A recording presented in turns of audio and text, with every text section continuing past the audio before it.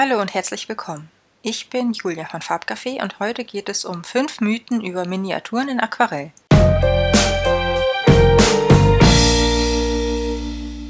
Ich liebe es, Miniaturen zu malen. Natürlich auch in Aquarell. Oder vielleicht gerade auch in diesem Medium. In der Uni habe ich immer Miniaturen mit Tusch gekritzelt und dann winzig klein und hauchzeit schraffiert. Je kleiner, desto besser. In meinem eigenen Kopf und in den Köpfen einiger Kommilitonen gab und gibt es immer noch einige Mythen, mit denen ich heute zu diesem Thema mal aufräumen möchte. Erstens. Miniaturen sind unscheinbar. Wenn man mit unscheinbar meint, dass Miniaturen nicht auf 100 Meter Entfernung einen Wow-Effekt auslösen, das mag sein. Aber wer so etwas pauschal behauptet, hat noch keine minutiös ausgearbeitete Miniaturmalerei gesehen. Der große Charme dabei entsteht doch erst, wenn man mit der Nase ganz dicht bis ans Glas ranrückt und so all die feinen Details entdeckt. Wer schon mal probiert hat, mit einem Buntstiftöl oder, Aqu oder Aquarell kleine und feine Details zu malen, wird ganz schnell von dieser Einstellung ablassen. Von dieser Einstellung ablassen, Mann, ich kann heute echt nicht reden. Miniaturen sind umso beeindruckender, da sie viele Details und eine wundervolle Wirkung auf einem winzigen Format ermöglichen. Zweitens. Miniaturen gehen ganz schnell. Darüber kann ich eigentlich äh, nur lachen. Also darüber kann jeder nun wirklich nur lachen, sobald er es ein einziges Mal selbst probiert hat. Klar, es gibt auch Miniaturen, die nur ein paar Minuten brauchen. Aber das liegt dann am Motiv. Man kann das mal wieder überhaupt nicht pauschalisieren. Ehrlich gesagt bekomme ich ja naja, bei solchen Pauschalisierungen schon fast Stresspickel. Man kann für eine Miniatur, so wie für diese hier, tatsächlich zwischen 20 Minuten und einer Stunde brauchen. Das ist gar nicht mal so lang. Dieses Motiv ist aber auch gut geeignet, um schnell zu arbeiten. Andere Miniaturen dauern da schon länger und ich kenne eine Künstlerin, deren Miniaturen haben früher mal mit einem einstündigen Projekt angefangen und jetzt braucht jede Minu Miniatur etwa acht Stunden. Das liegt nicht daran, dass sie etwas schlechter oder langsamer geworden ist, sondern daran, dass sie immer und immer mehr Details in das winzige Format einer Münze quetscht. So entstehen beinahe fotorealistische Bilder auf einem winzigen Format. Sie arbeitet so klein und so detailliert, dass da kein normaler Drucker mehr ähm, mit der Auflösung klarkommt. Ihr Buch und ihre Reprints zu produzieren war eine echte Odyssee. Von wem ich spreche? Von Lorraine Lutz, mit der ich vor einiger Zeit ein inspirierendes Interview führen durfte. Ihre Miniaturen sind inzwischen weltweit bekannt und sie hat aus ihrem Hobby ein echtes Lebensprojekt gemacht. Ich gebe zu, ich hätte auch gerne mal die Zeit und die Ruhe, acht Stunden an einem Bild von 3 auf 3 cm zu arbeiten. Drittens. Miniaturen sind was für faule Leute. Ich glaube, diese Aussage habe ich mit dem Punkt 2 schon ausreichend beantwortet, aber man kann es mal wieder nicht pauschalisieren. Es kommt wirklich ganz, ganz individuell auf die Person, auf die Motive und auf die Arbeit, die man investieren will, an.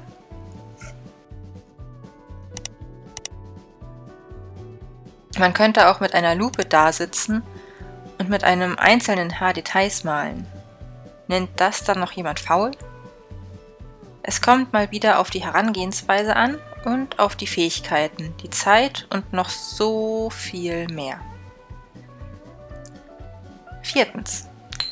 Mit Miniaturen verdient man kein Geld. An dem Gedanken ist tatsächlich etwas Wahres dran, denn oft wird Kunst nach Fläche bezahlt.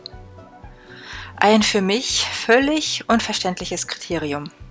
Ich kann für ein Bild, das ein Quadratmeter groß ist, eine Stunde und für eine Miniatur von 2 auf 2 cm 16 Stunden brauchen.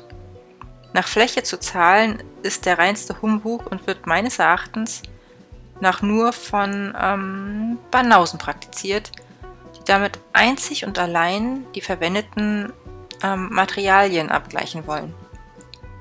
Es gibt sogar einige Beispiele von Künstlern, die ihre Miniaturen nur versteigern und damit Erlöse von um die 1000 Dollar erzielen. Pro Bild. Andere wiederum veranschlagen 800 Dollar pro Bild und sind über Jahre hinweg im Vorhinein ausgebucht, obwohl sich die Kunden nicht einmal das Motiv aussuchen dürfen.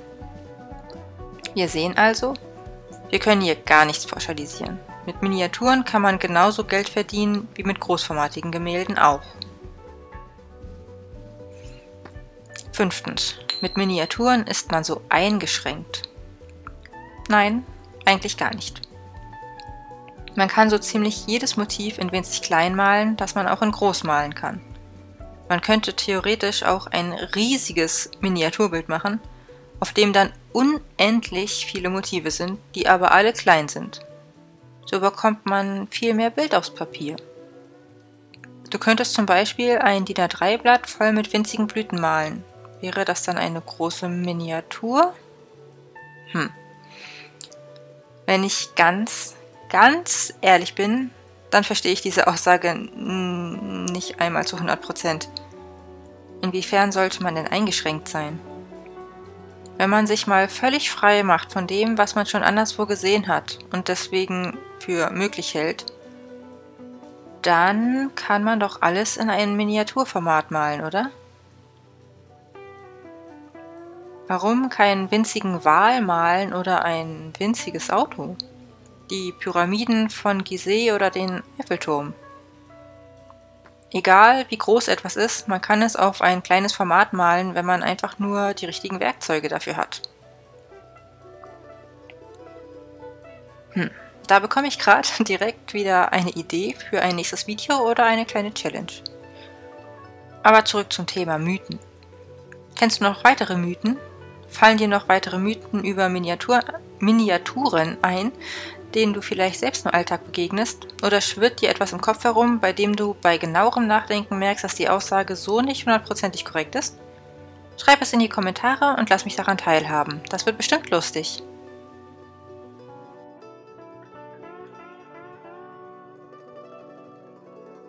Wenn dir dieses Video gefallen hat, dann freue ich mich natürlich über ein Däumchen nach oben oder du kannst meinen Kanal abonnieren Du findest mich auch in unterschiedlichen Shops, zum Beispiel auf meinem eigenen Shop, bei Etsy oder bei Amazon.